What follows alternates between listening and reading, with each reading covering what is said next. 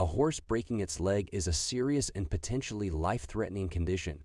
Unlike humans, horses have limited ability to heal fractures due to their weight-bearing anatomy. The stress placed on the broken bone and the delicate circulatory system in their legs hinder recovery.